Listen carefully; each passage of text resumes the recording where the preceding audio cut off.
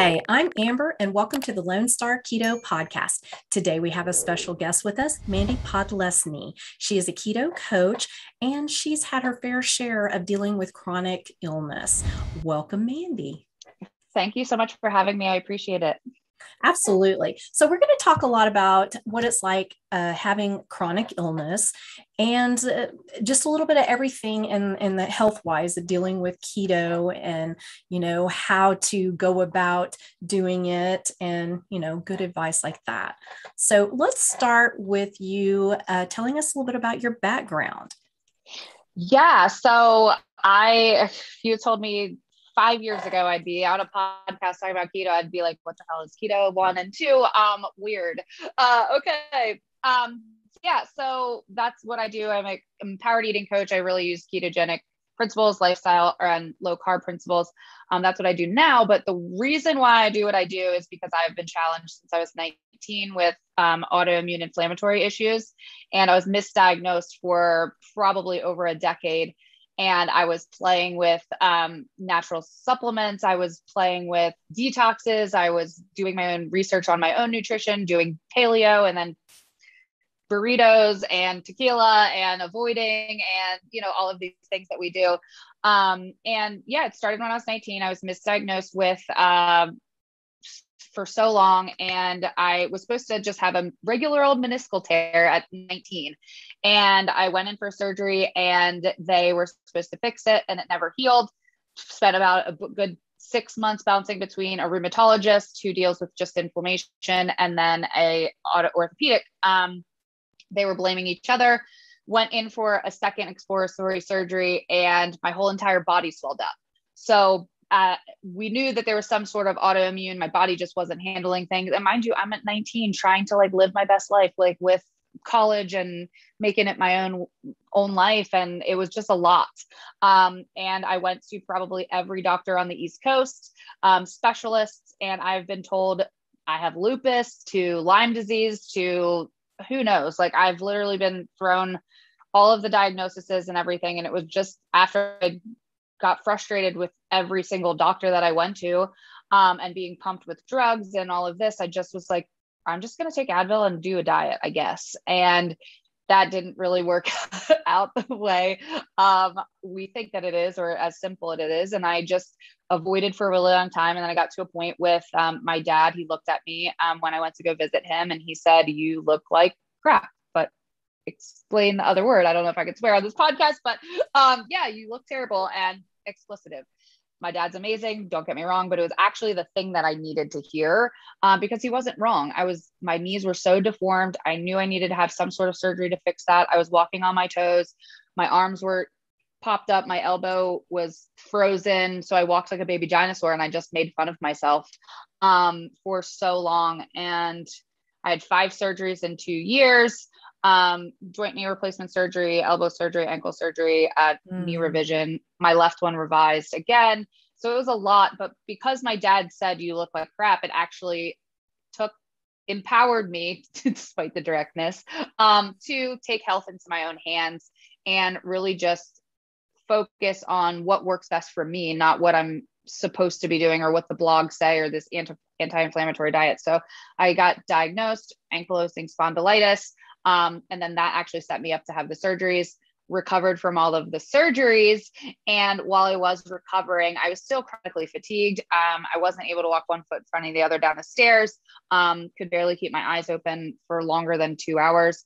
Um, living in New York City, recovering from all of my surgeries as well. Mm. And I found the power of ketosis. Uh, so that's kind of just how I started my whole journey. Um, but yeah, I started found the power of ketosis through drinking actually pure therapeutic ketones. Um, but I knew that that wasn't really a full solution. That's a band aid. They're amazing. I love them, etc. Keto Camerons, calm down. They are really amazing. Um, but uh, you know, that's just one tool to put in your toolbox. You have to really focus on all a whole bunch of other factors as well. But that's my spiel, girl. Well, that's quite a big spiel. Okay. Uh, yeah. like dealing with this chronic illness. And I hear this a lot that, especially with women, uh, men deal with it too, because I've had some on the podcast who have had some pretty major issues with that. But when they go into the doctor and the doctor just, like you said, throws out, you know, these diagnoses but there's really not a solution except for mm-hmm. maybe you know oh let's do surgery on certain things that can you know that can work on what did that make you feel like oh man i like i like i teach emotional eating like i solve emotional eating now but like when i tell you that i would go to a doctor's office basically be berated because i was trying to have the conversation about diet about my lifestyle about my gut health you know supplements and things like that that could help it was immediately shut down. No you're no that's not happening. You need to be on xyz drug or you're going to be in a wheelchair. Like it was always like that kind of narrative. Or i would have doctors be like well tequila and cupcakes don't Im- make an impact on your inflammation so you need to be on these drugs. And listen there are good doctors. Like I will say that I'm not very anti and I'm not anti medical intervention. Like I'm kind of going down that road personally right now, um, having to like kind of jump in. I'm not a fully cured person, but when I tell you I was sick in bed at my darkest hour, wanting to drive my car off of La Jolla Shores um, cliff, that's how bad I was. But I am a completely different person now because of the changes I made. But it's just the way that our life and our society is with medical treatment but not only just medical treatment it's diet industry your food industry the medical community they're just it's trying to treat symptoms and not you as a holistic person and then diet drama comes with you're listening to this right now and you're just like oh well I don't understand why I don't have willpower and why don't I have this and why don't I have that? It's because of the way the system's designed. And until you realize that you're trapped in in literally in a system, you have to find the key to get out. And the only way to get out is through yourself. So being empowered enough to fire and hire doctors was something I had to, like, I'm at 25 years old. I've probably been fired from jobs instead of like firing doctors, but I've had to have tough conversations at a really young age with adults about my health and wellness because I couldn't take the support, the lack of support, and be like, here, take this drug and this drug, which is not, never felt good, you know? Yeah, and I think at this point in time, people need to understand you have to take control in the mm. power mm. of your health. Nobody else is responsible for that. No matter what they say in the media and all this other rumbo jumbo mm-hmm. going on, you yep. and you alone are responsible for your health, nobody else. And sometimes that means that you need to question, you need to do your own research you may mm-hmm. have to do that uncomfortable, awful, horrible thing of letting your doctor go and finding one that will work with you, not yes. be, you need a partner. You mm-hmm. don't need somebody dictating. You don't need that. I mean, you know, you need somebody who's going to listen to you. And if that's not your doctor, that's okay. Move on find one that does because they are out there. I'm not saying it's just real easy to find one, but they are out there and your health is worth it. Yep. Yep. What do you I think about that? um, yes, girls, say it louder for the people in the back for sure. Um, no, I mean, I like the doctor that did end up diagnosing me was in San Diego. I was living in San Diego at the time. It was all like divine intervention or something because I was really at the end of my rope when I did see my dad. And um, like two weeks later, I went into that doctor's office. I got some shot, like steroid shots in my knees. He was like, "Holy crap! I think that you have ankylosing spondylitis. You have a genetic. I'm.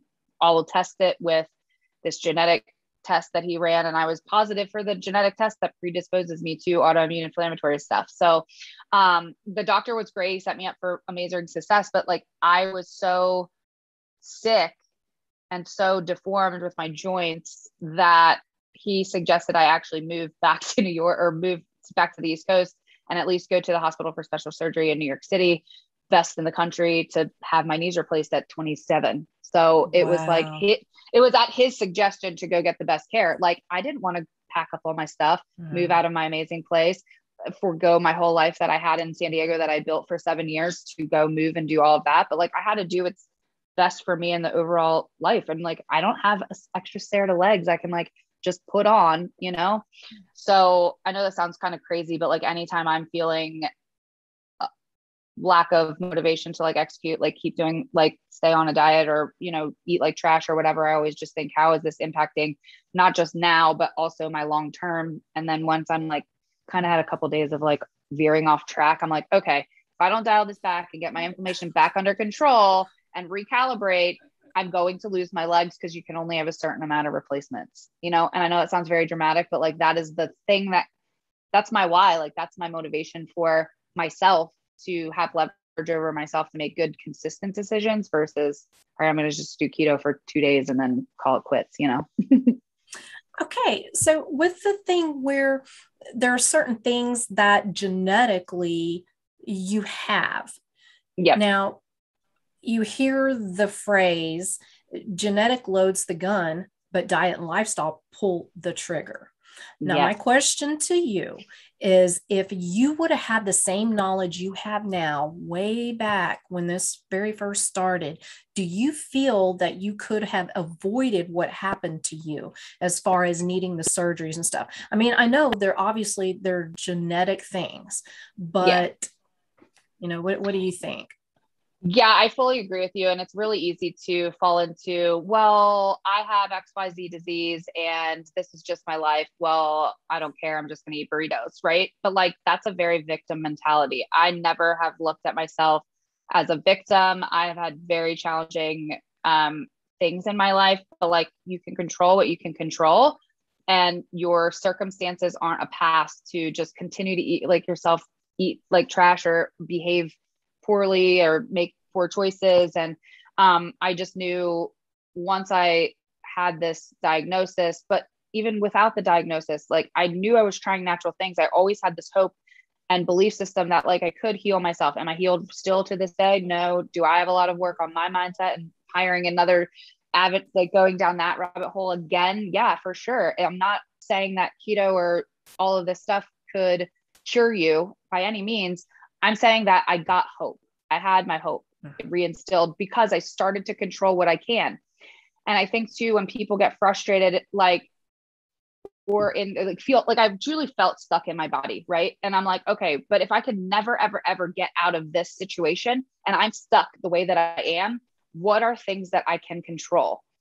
My nutrition, my movement, despite hurting, my self care, my sleep, and my hydration. Like those are five things that you can really handle and look at from a lifestyle perspective that you can control those things.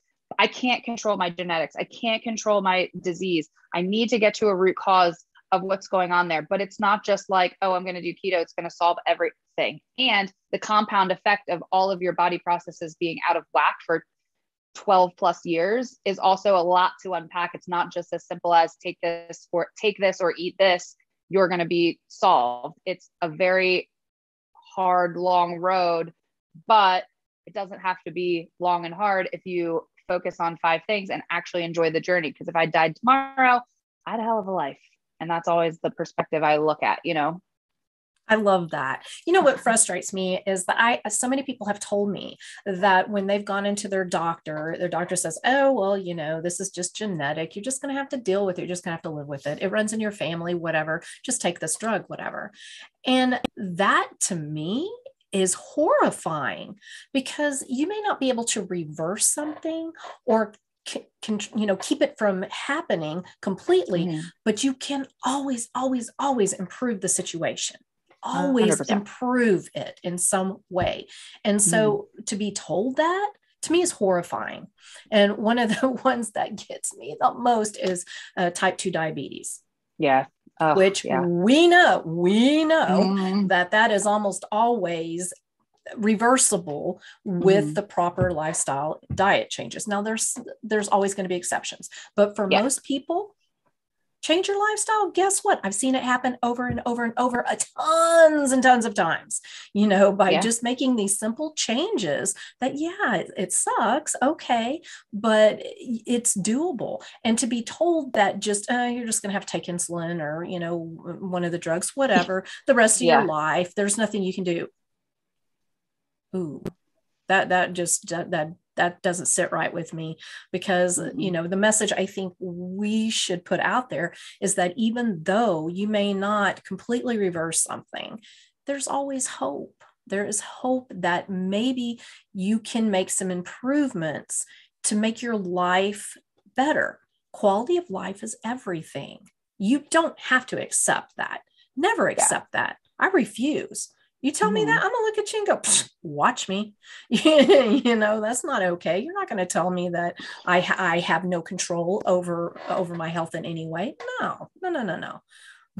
I, I think that no, and I fully agree with you. Like I just want to high five you and hug you for sure. Um, but that is why we do what we do, right? Like, but I just think from a doctor's perspective, that's how they've been taught in medical oh, yes. school, treat symptoms. But also mm-hmm. from a patient's perspective, that's what we've been taught. Listen to your doctor. Do what your doctor says. So it's like this brainwashed trust and we lose sight of our personal power and how we forget like that doctor doesn't know stuff and that doctor might be having a bad day. You know you mess up at your work. I could never be a doctor because i'd be like oh god i can't. Um, but like like you know what i mean? Like we all have bad days. We all have you know like you're doing the best that you can with the information and the mm-hmm. like everything that you have but like this is why you and I do what we do because like we have a responsibility to educate people that there are ways around it. Like there are things that you can't control. And I mean we're just getting started. Like I think that as crazy as 2020 was uh-huh. um you know that was a huge wake up call. And I think people are starting to wake up to realize that like health and wellness needs to be a priority. We just live on this society of being asleep essentially. And we just think okay well we're retold at a very young age listen to your doctor high fat's bad low fat's bad cholesterol like we're just taking all of the information that we've heard quotes but like does that actually make sense or believe like ring true for you and that was like the one thing that every time i left those doctors like yeah i would like emotionally eat drive to chipotle have 17 burritos and 10 bags of chips chips because well, nothing works anyway. Like, you know, I had that, I did go into a victim mentality, developed poor relationships with food, completely lost trust in myself. But it's just going back to, hey, you have the power, but until you recognize that you are kind of stuck in this trap and you need to find the key, you're never going to be able to get out. And it's not your fault. You're just set up uh, yes. to fail. Uh, it, yes, that's exactly it. But I will tell you, you know, being empowered when you take back that responsibility for your own health, you know, I'm not responsible for anybody else. I am mm. responsible for me, my health, mm. what I put in my mouth, what what I do in my lifestyle, I'm responsible for. And mm. I think once people really fully understand that and accept that and actually do it, it feels good. It feels powerful. It feels like you you have hope you can accomplish something you you can make something happen maybe not 100% of what you want but you know that's life. Sometimes you some things are are out of your control. But if you can do something why the heck when you want to do something? Quality of yeah. life is everything. It's everything. And i think people just you know they go about their lives and they're kind of drone on and they watch the tv they're on their you know internet on their phones doing all their different stuff and and they're just letting everybody else do the work for them and yeah. it hasn't worked out very well for us you know? Yeah. And that's why i say that being in your personal power is the most important thing. And we i mean we could go down a million rabbit holes but like when you start to do a diet and you're like okay well all right i'm w- let's just paint this scenario if i can. So you wake up and you're like okay i feel gross. I am kind of overweight i know i need to make changes i should should go to the gym should do this you should all over yourself then you're like okay and, and then that's on a wednesday right you're like okay but i'm going to start monday but you wait from Wednesday to Monday to make changes because you're gearing up quotes to do this diet and you have to take all of the energy that you have inside of you. All right, I'm going to start Monday. I'm going to start Monday. I'm doing this. Like this is for real this time. Like I'm going to do it. And then you start Monday and you're you're just high stress, something happens and then another excuse and another Monday you fall off, right? And but doesn't that sound exhausting? Like all of the mental work, not only just like not even avoiding carbs and trying to get through the keto flu, but like, so that's the hard part, right? Like doing that. And then you beat yourself up because you're like, well, great. I guess there's something wrong with me. I hate this. Like, why can't I just have willpower instead of just dialing it back for one? Like, this is like the, the heavens are going to, unicorns are going to come down from the heavens right now for y'all instead of doing that whole diet drama of like, I'm gonna, gonna, gonna take a deep breath. What will make me feel better right now? What, how can I make a different choice than I did yesterday? The next meal, if you have a cheat meal, okay, we don't need to do this whole diet drama of like, oh my God, what's wrong with me? I just had a cheat meal. F it. I'm just gonna have like 17 more carbs. um, no, how about well, yeah, but like, why not just okay? I had that, forgive myself. I'm going to now eat a meat, a veggie, and healthy fat. I'm going to eat it meat and a veggie, the healthy fat the next day. And then, okay, well, maybe I'll have a burrito, but the next meal I'm going to have a meat, veggie, healthy fat. Like it's, we just create this whole drama or chaos in our brains because that is the conditioning and the program that we have. So there's nothing wrong with you. Yes. You know? And the nothing whole wrong with you. Willpower. Willpower. This annoys me to no end. And I will say mm-hmm. why, because I have willpower that I will put up against anybody. Anybody. I will take you on right now. I have that kind of willpower. it's crazy. So you can never come at me about willpower. But there comes a point where that's not what it's about. It's just not what it's about. You can't willpower your way into uh, permanent changes long term. Mm-hmm. That you know, what talk a little bit more about the the willpower thing because that's one that I'm just like, oh, yes, you have to have some, of course, to get started, blah blah blah, whatever.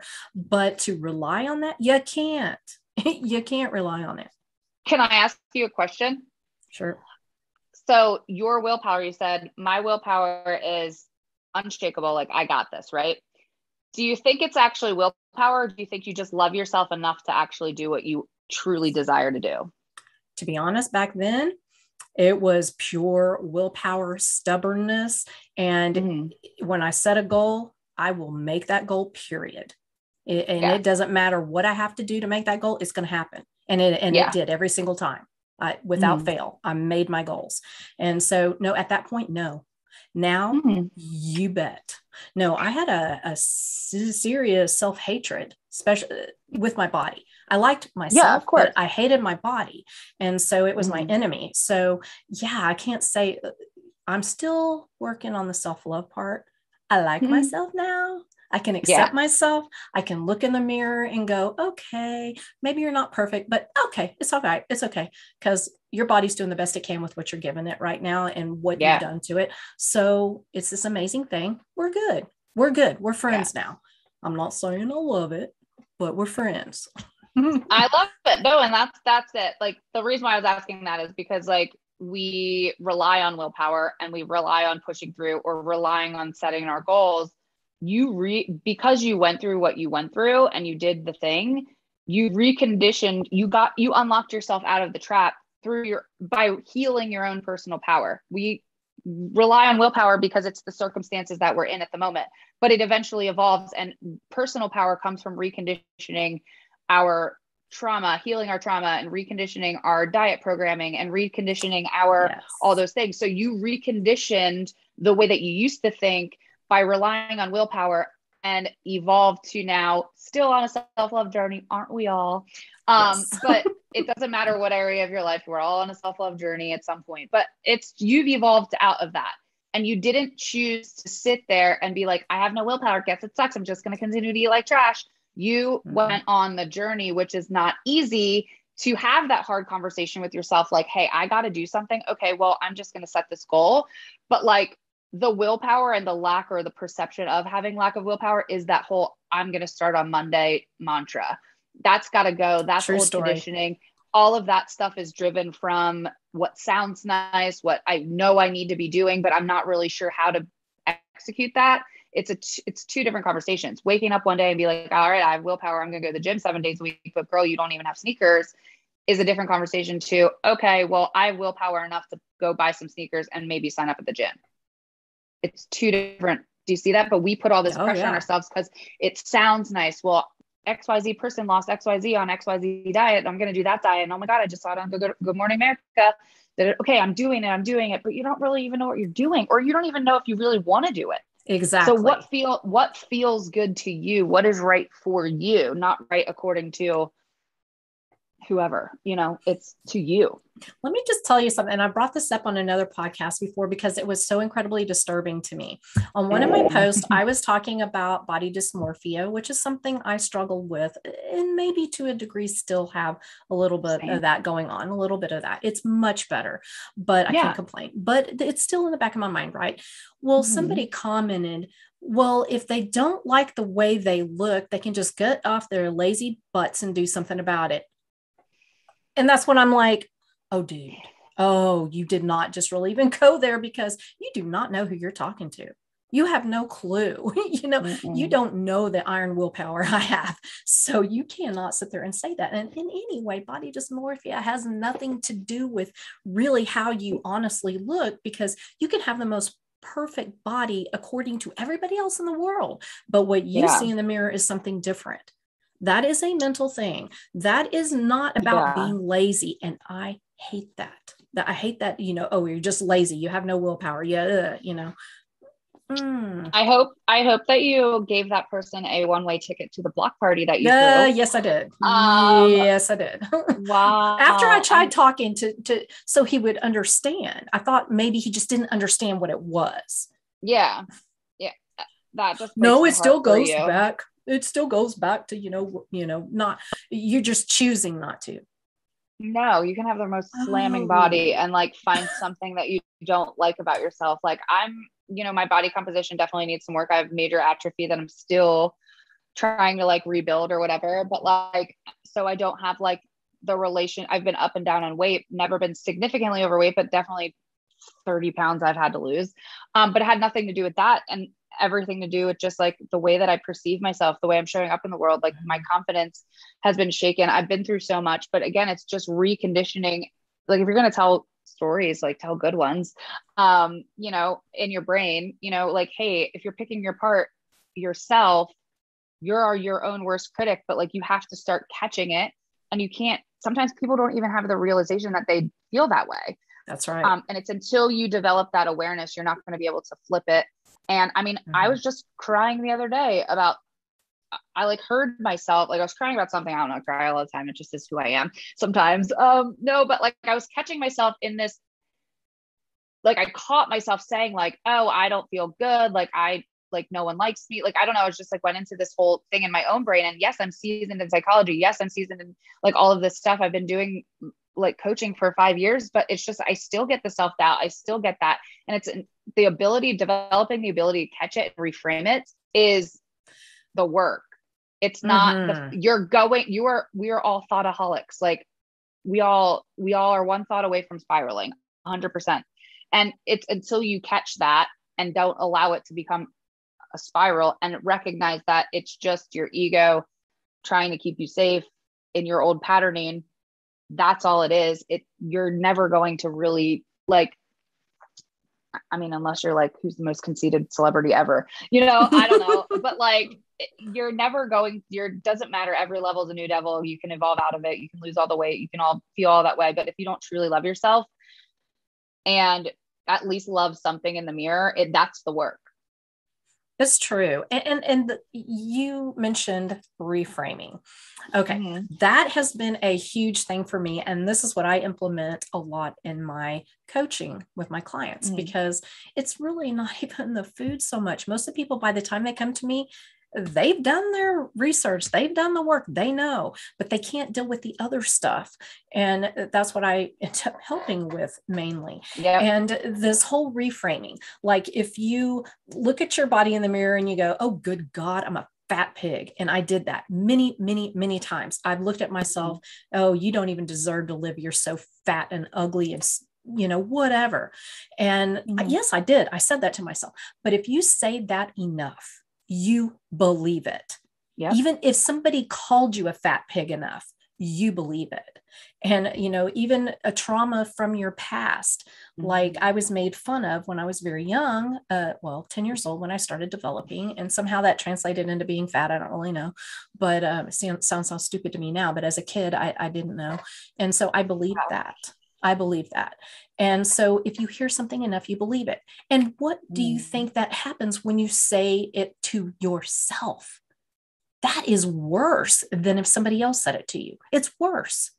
You know, mm-hmm. and when you look in the mirror, you know, like I said, now I look in the mirror and go, I look better. you know, yeah. I'd like to be a few pounds less. Okay. But you know what? Your body's doing the best it can right now. You just have a few issues going on. We'll work it out. It's okay. We got this. Yeah. you know, and that's the way I talk to myself now. I talk to myself like we're in a partnership now instead of this evil, horrible nasty person that just didn't want to cooperate. Yeah. You know? Yeah. It, it, makes a difference. It sounds kind of psycho, but it does no, make a difference how you talk to yourself. But I think that that is our job as coaches to educate people that like it's actually not normal to continually self-deprecate. It's not normal. It's, it's okay to actually feel not okay, but also want to do something about it.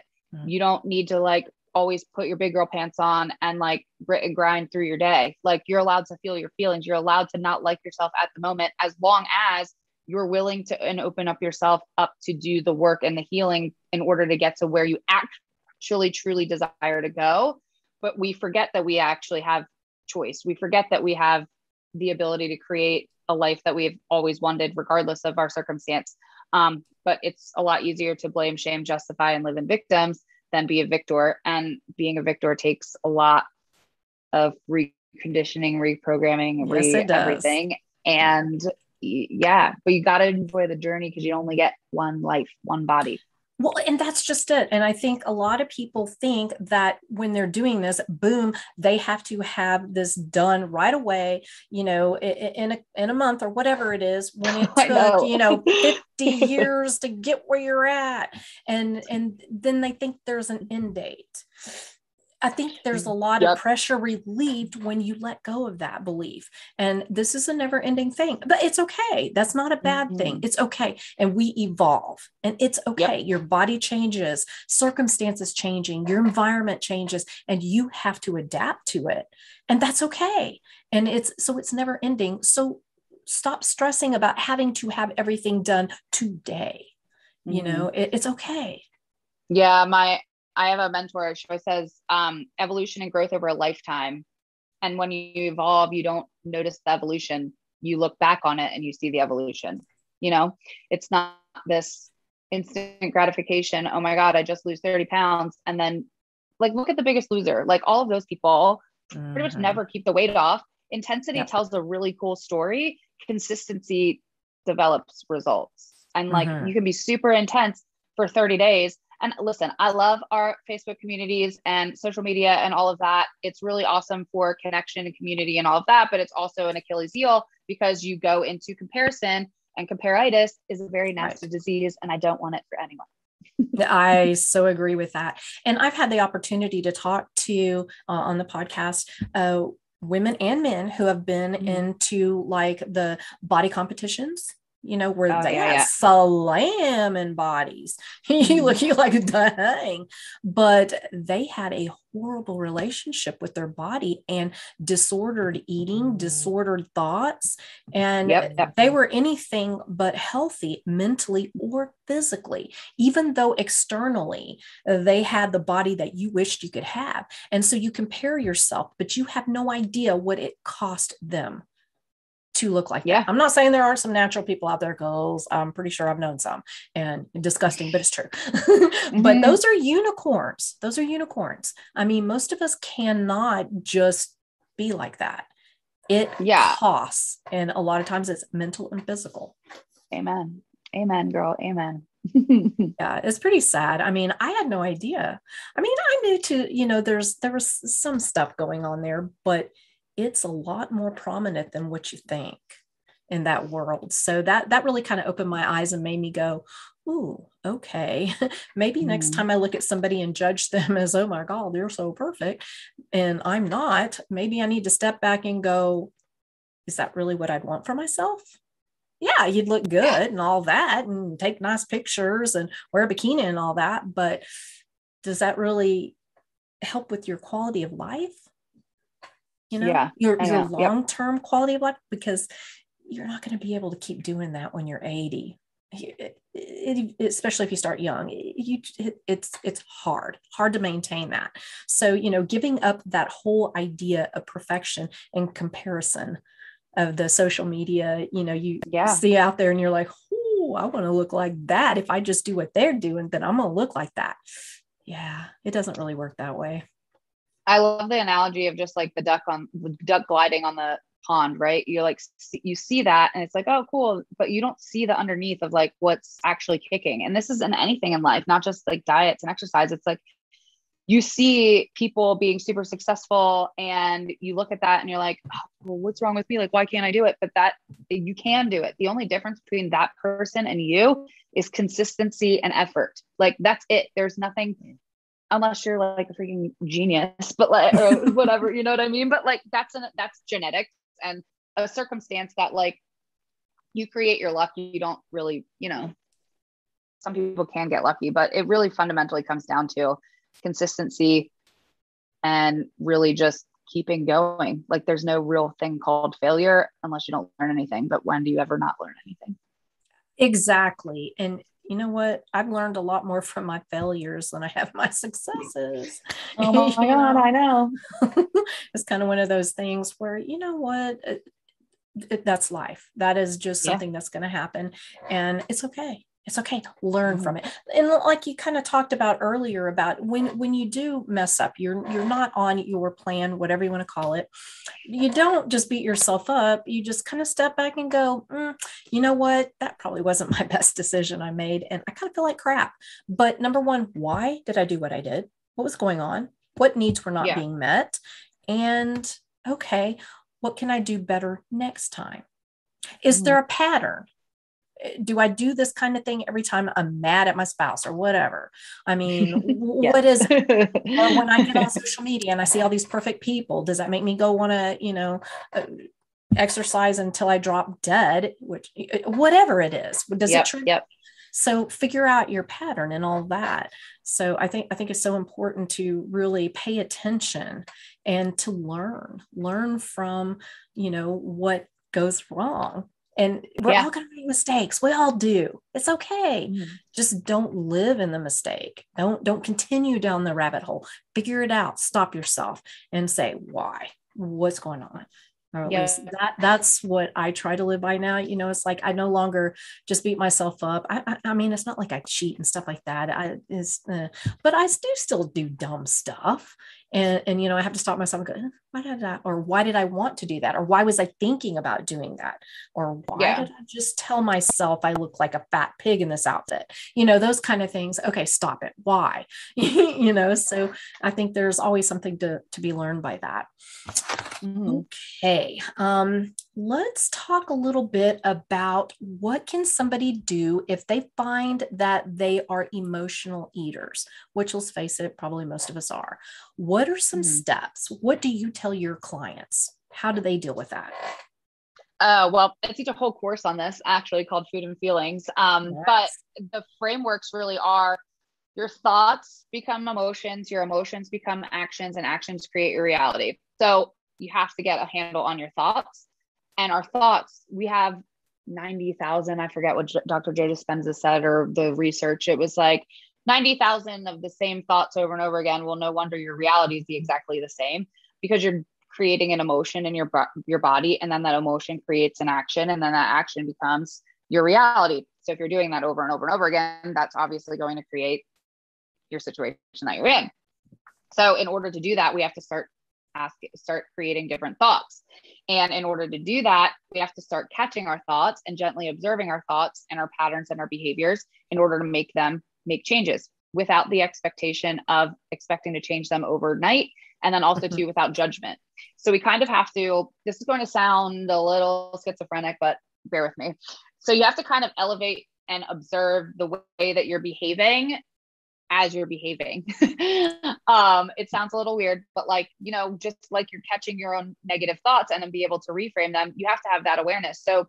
we live so much on autopilot. We just wake up in the morning, it's 6 a.m., and then all of a sudden we're face first into the refrigerator because we have not regulated our thoughts at all. And then you repeat these same behaviors over and over again. In addition, you are stressed out and emotionally eating because you are stressed out. You are having a biological response to the stress emotion, which triggers cravings, etc. And then most of us are also nutritionally deficient.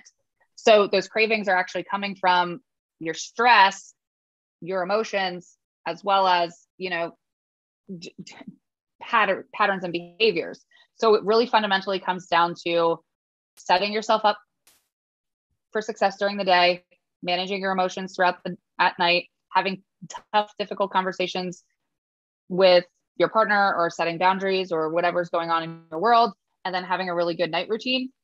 Like that is like the framework to actual success in whatever diet you choose to do. Because if you're not willing to do the diet or you're constantly self sabotaging, you're never going to see the results because you're going to repeat the same patterns over and over again. But most people are not understanding that. One, and two, let's just throw in not only your current behaviors, but let's just throw in our programming since we have been young, right? The baby's crying, have some Cheerios. Uh-huh. Oh, you broke up with your boyfriend. Here's Ben Ice and Jerry's. Yep. Yeah. It's just the way that we are, or be quiet, stuff your feelings. I'll give you some ice cream. So we have not, as a society, even been set up for success on how to regulate our emotions and how to really manage that. So if you're finding that you're face first into the fridge at 5 p.m., most people who have recognized that this is the pattern of behavior don't even understand that why that's happening.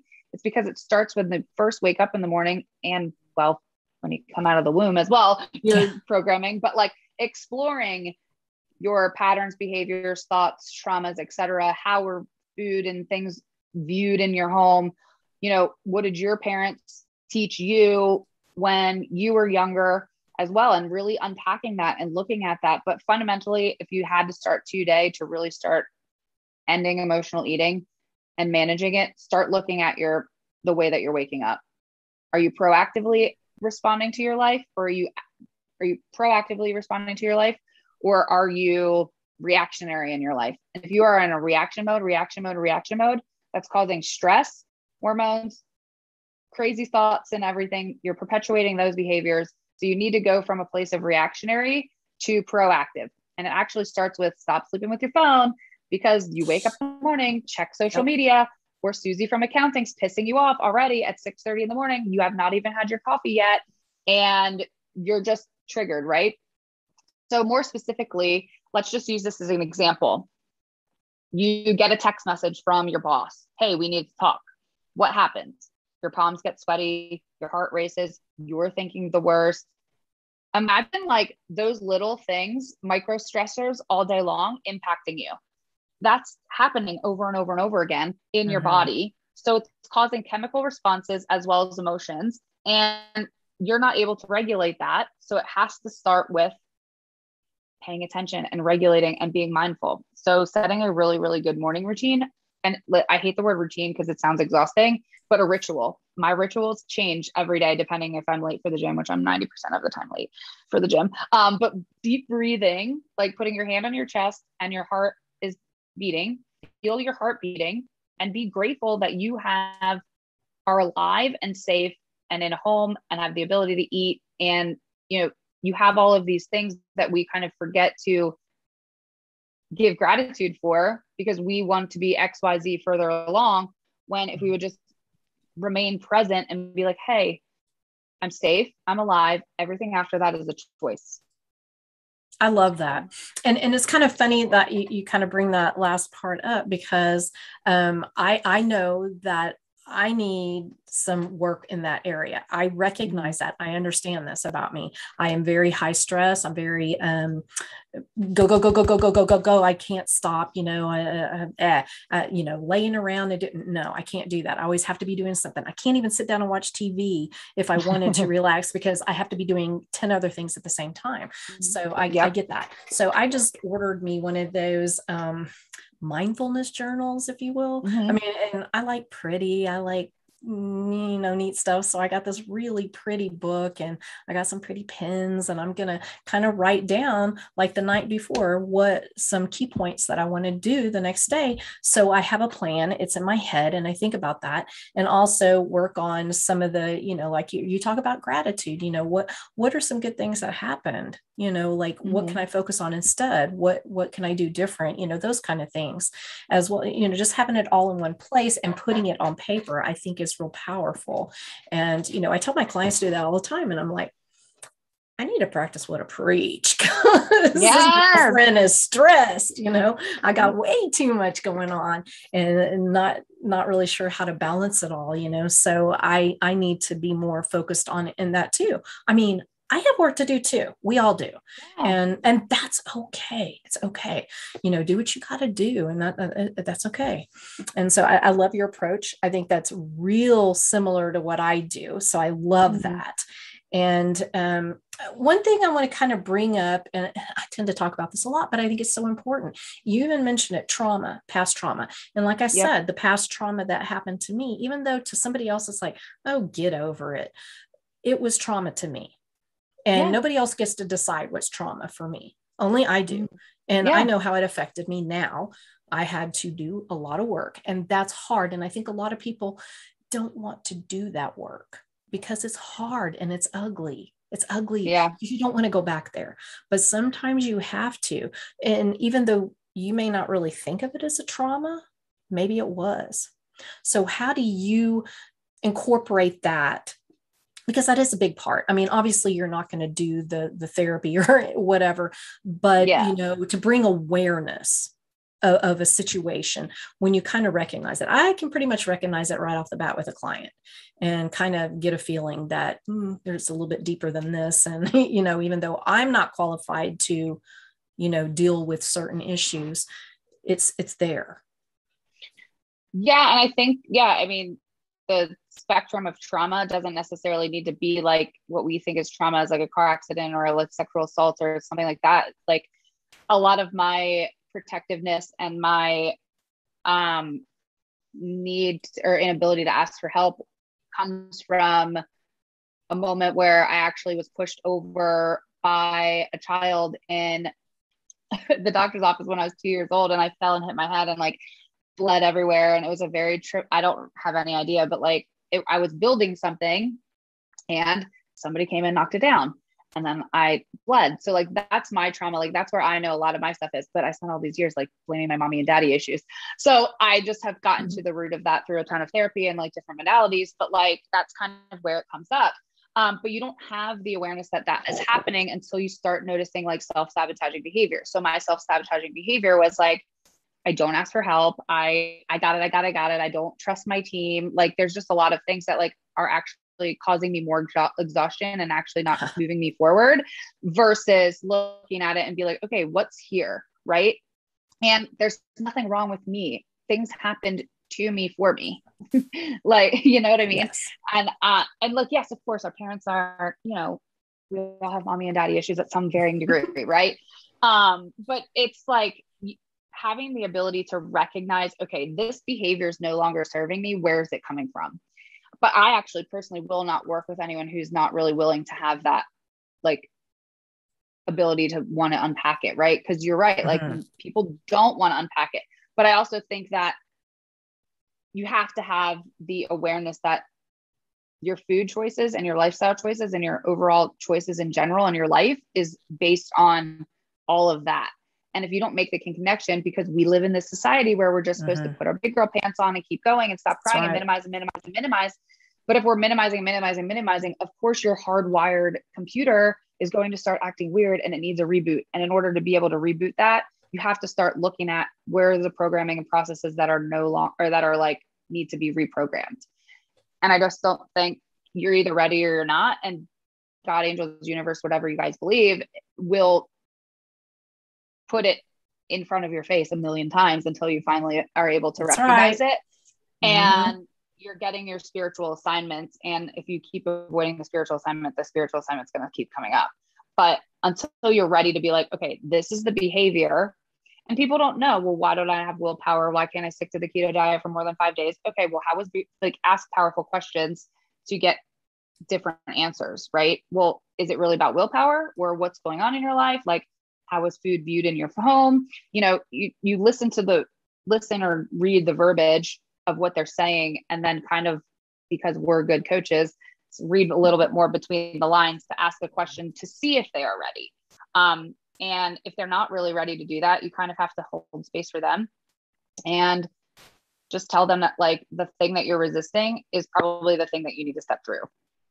That will free you will free mm-hmm. you because you cannot have long-term success until you deal with those things that keep coming up like you said over and over and over again and like i said mm-hmm. i was able to accomplish every goal i made that oh, was oh, yeah. not the problem but i couldn't maintain it mm-hmm. any anything because i never dealt with really the underlying issue and that took mm. a lot of work and it and it hurt and it was ugly but it was crucial to my growth and I mean, there's still stuff I need to deal with. I mean, we're not ever yeah. just done. We're just not. And that's okay. That's okay. Yeah. We're human. It's okay.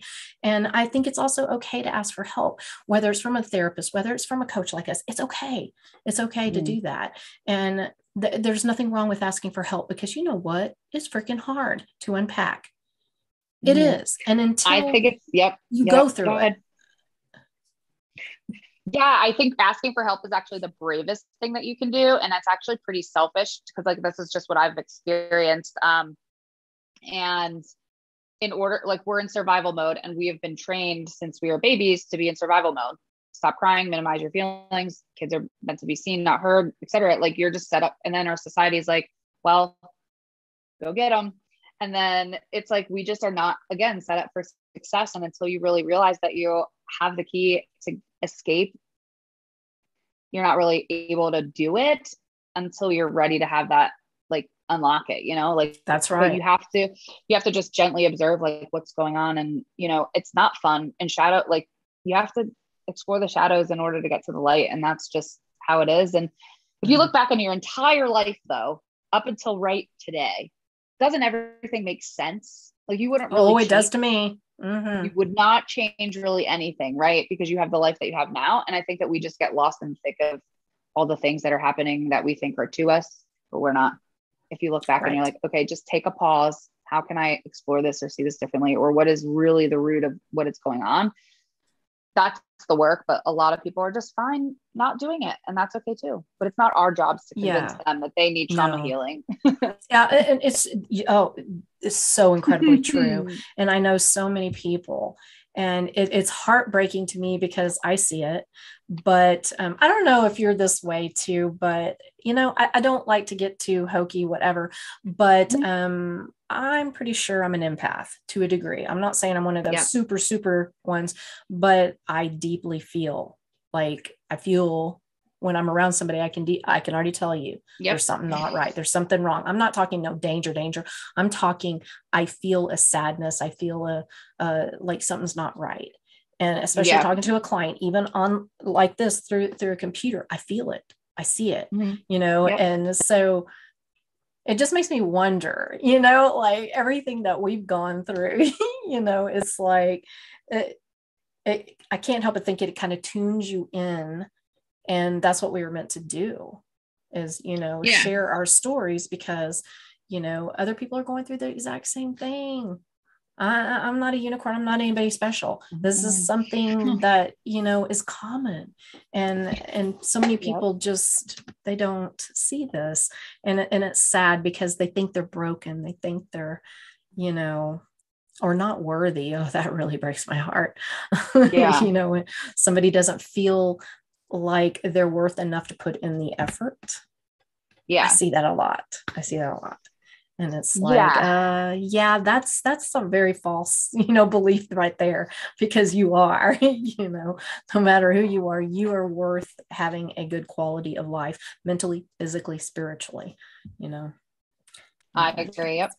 You are worthy because you are here like I forget the statistic on that too. It's like one in one billion or something for you to actually become a human. Like the statistical chance of you actually becoming who you are is like one in one billion or something. Like, isn't Oh, that wow. enough to be like, holy crap? Like, yeah, like it's, you know, you are a miracle just because you are here, you know, and then you're a miracle because you survived your childhood. You're a miracle because you have survived your adolescence and high school and whatever awkward stage. And, you know, I think that we just live in lack a lot of the times just because that's just, we desire so much for our life, but we wish that we want more. But like, we're actually able to create that if we're willing to do the work and exploration around it and switch from survive mode to thrive mode. Like, what will actually make you thrive versus like, okay, well, I'm just doing this Mhm. to survive. the huge difference. There is a huge difference because once you have that freedom that like where you kind of break loose of a lot of this um, food freedom too i mean there that's all Yeah, part of it because that was kind of my you know how i got into everything whatever. But it's freeing it's freeing it feels like you're living in this shades of gray world and then all of a sudden now you have color woo! And it's like it just feels good. And you know yeah you know part of me is sad that you know i had to go through what i did that if i just had Yeah. the knowledge i have now back then i could have saved myself so much you know whatever but then i think then i wouldn't be the person i am now Right.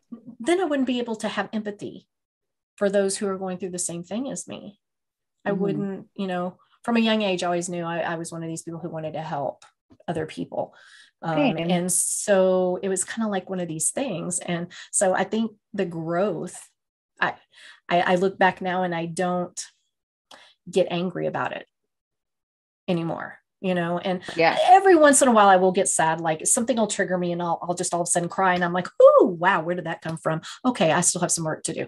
But for the most Yeah. part, I look back and I'm like, I can show my pictures, I can talk about things that happen now, and I'm okay with that. You know, and I, Yeah. I, I think every, people need to know that, and that's okay. And that's part of growth. And it, it does affect your health. 100% affect your health. So, in case anybody's wondering why we're on this subject, it does go back to your health. It goes back to emotional eating. It goes back to, Mhm. it affects everything, you know, Yeah. mentally, everything. And just because we've mastered kind of the food portion of this doesn't mean that we're not messy in other areas. You know what I Oh, mean? yeah. Like I use my business all the time.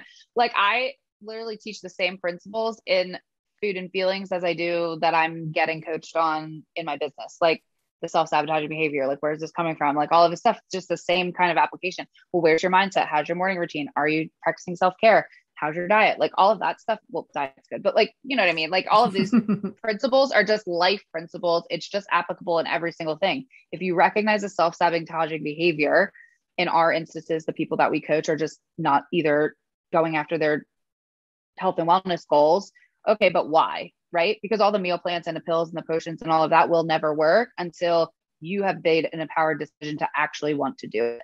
Now, you don't need to be perfect. You can have a burrito here and there. Not not the end of the world. Like you're not a failure because you enjoyed a burrito. Mm-hmm. They're freaking delicious but it's this stress about needing perfection but it comes from our programming from such a young age as well as the society as well as the food industry as well as the diet industry as well Oh, as yeah. like social media like you have so many contributing factors that really impact and it's you know it, it all impacts everywhere It does. It really does.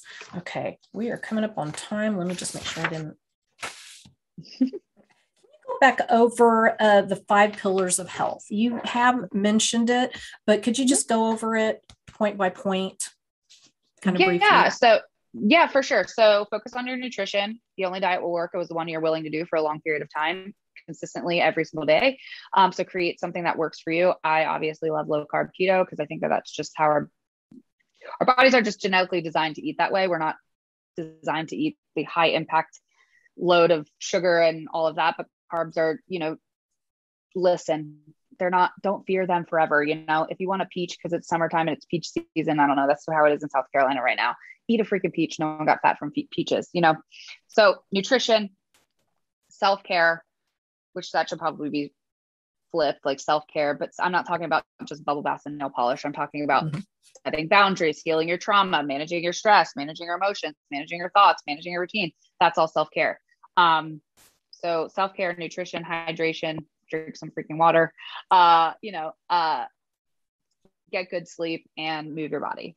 So those are super awesome. important things. Yep, yep. I got a question for you that this, this is something that just came out the other day. And yep. uh, oh, I'm just so mm, torn on this one.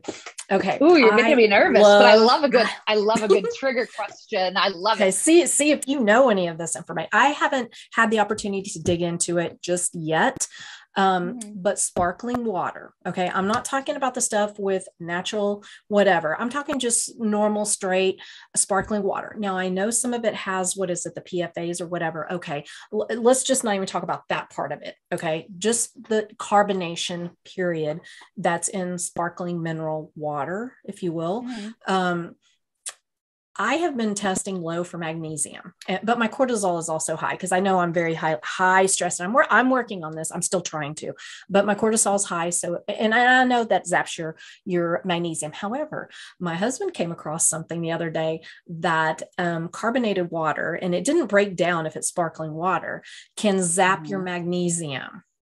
And since you brought up the hydration thing, have you heard anything about that? I will do some more research on that, but I'm talking just normal, straight, sparkling water with nothing else in it.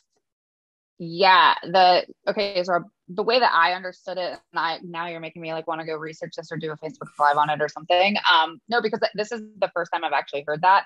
And I fundamentally teach everyone just drink high quality H2O because it's a molecular compound. Mm-hmm. Um, I did read loosely one time that same thing, like magnesium, you know, deplete your body of magnesium because it's not a full on H2O molecule. So your body's going to take it on and process it differently. So I was, I'm drinking a bubbly right now, like no big deal, you know, and, and you know, but I've also drank two liters of water as well. So I think like they're good sippy drinks or whatever, you know, if you really feel called to do that. But like if you're drinking them to replace a diet Coke habit or some sort of other thing. Right. okay then move that in that direction but also just remember drinking high quality h2o like the water boy um, is super important um, just to make sure that you're getting your natural hydration. And it takes like people just think oh i need to drink a gallon of water and it absorbs in your body quickly. Um, it takes a little while to actually have that absorb in your body as well. So just drink high quality h2o and then if you want in addition to whatever you want to sip on throughout the day or whatever, then go ahead and get on with your bad self. but make sure that you're drinking high quality H2O just from a detox perspective, from a molecular perspective, you know, you just want to have that quality hydration. So yeah, and you know, I am so all over the place with with the whole hydration thing. I mean, obviously, it is important to a degree, but I also think what we've been told, like you said, you know, drink a gallon of water. Uh, uh, you need all this. Uh, they they pulled that out of their butt. I mean, pretty much, they're everybody's a little bit different.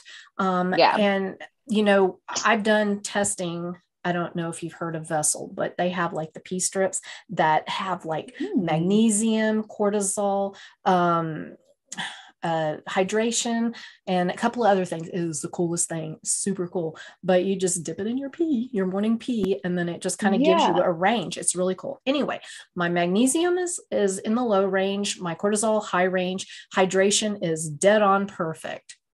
So you know, I kind of get some readouts like that, right? Yeah.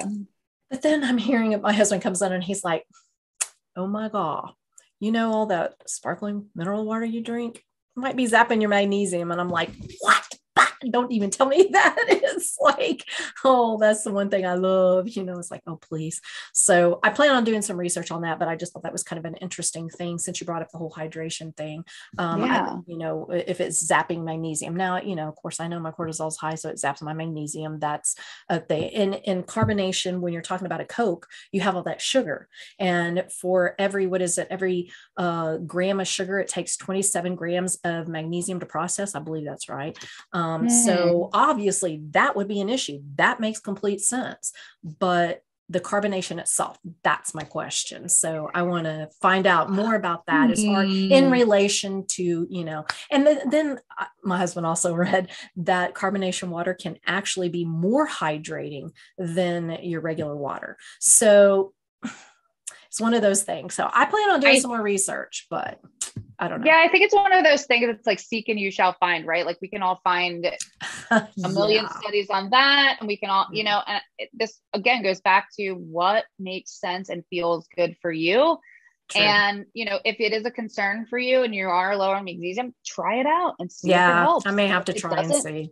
You know, we we collect data and facts, and then we get into an analysis paralysis versus like, hey, like, hey, okay, well, I'm a little low on magnesium, and I got a lot of other things going on, but I'm just going to bump up my water a little bit and dial it dial it back and see what happens. Like but somebody could hear that information and be like, I'm never drinking sparkling water again. And right, right, right. Go right. to that level of extreme because one mm-hmm. random study comes out. Well, also too, where did the study come from? Who funded the study? What yeah, you know, yeah. what's that being published? Like we can go down a million rabbit holes, girl. Oh, so yeah, I'm saying, I'm saying, yeah, and, and, you, you know, confirmation bias. I mean, if if you're wanting to prove something, you, you're going to be able to.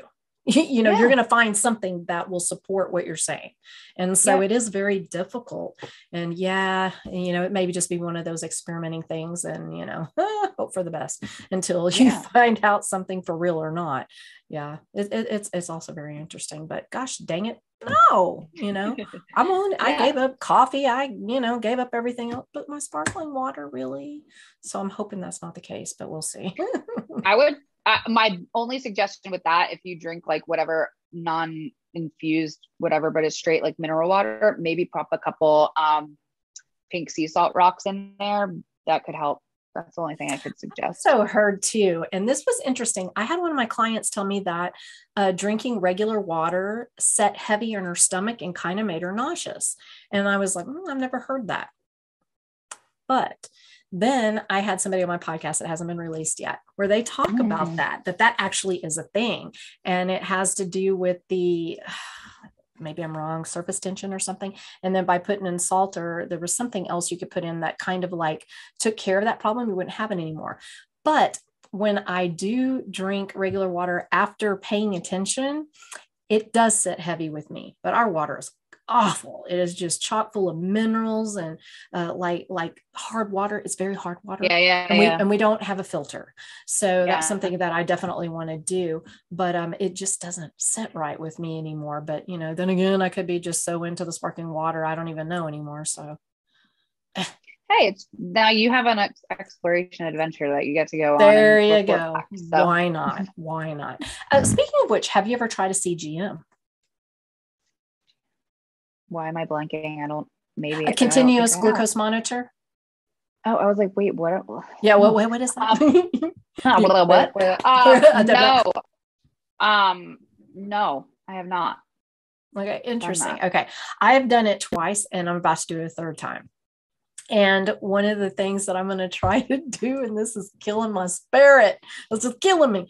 But I used to, when I thought I was eating healthy, I used to eat like oatmeal uh, the, the sugar-free version, the oatmeal.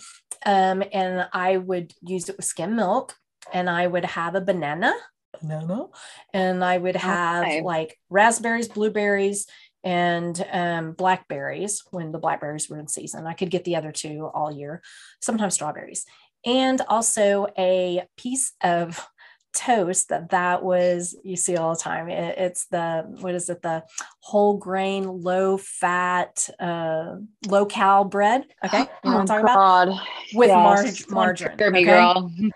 every day and i thought i was eating good and then for lunch i'm dying a little inside um i would have the same piece of toast you know it, it, it's pretty small you know there's there's small yeah. pieces and i would mix honey and peanut butter that was my lunch every day mm-hmm. for years.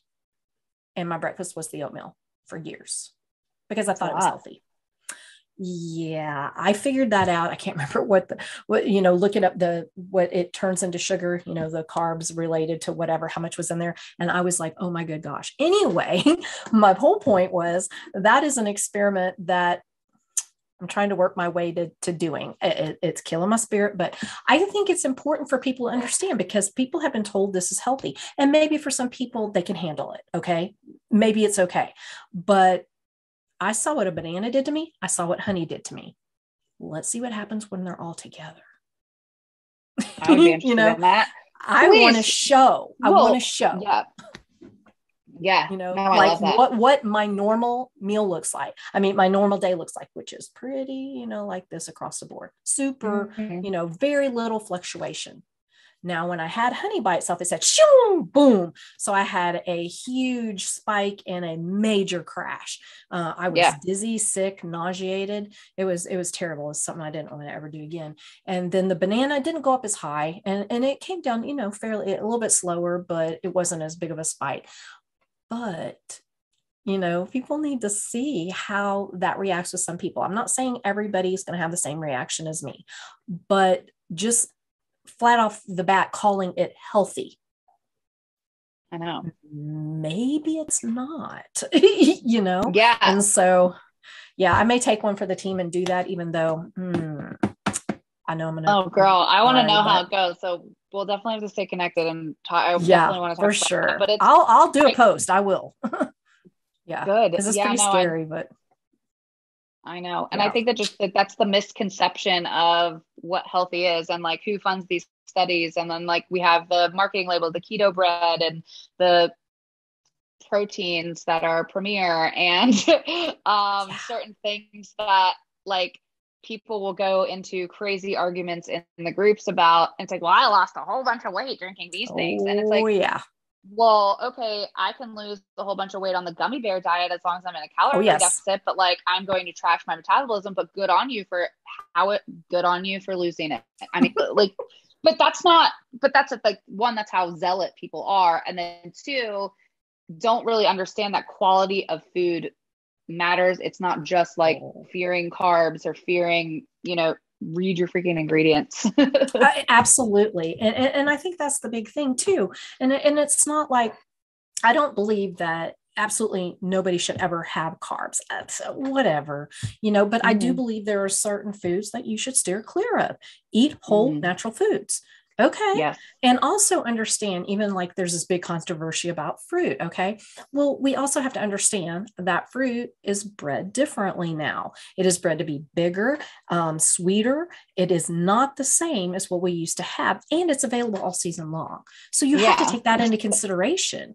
I mean, I'm not saying it's it's just oh, it's just bad across the board, but generally speaking, that is not something we were meant to eat all day long every day for the rest of our lives. That's not mm-hmm. how it was. That's not how we're designed. And some people yeah. may be able to get away with that more, but I'm going to tell you right now, I'm not one of them.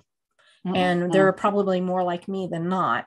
And so yep. it's something that, you know, people need to be, you know, aware of. Not saying it's bad, not saying you can never have it, but use some common sense, you know, uh, of and and eat, just just eat whole real foods, please. you know, that's the biggest yep. takeaway for me. And however you decide to do that, okay.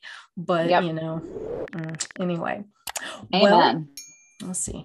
Well, Mandy, it has been a blast talking with you. I know we kind of went over our time. I was just looking at that, but uh, that's okay. We had fun, and I, I, appreciate you coming on and discussing chronic illness and uh, health related everything pretty much and mental too. That we yeah. got a lot of good stuff in with that. So thank you so well, much for coming on. Thanks for having me. I appreciate you. Absolutely. Bye mandy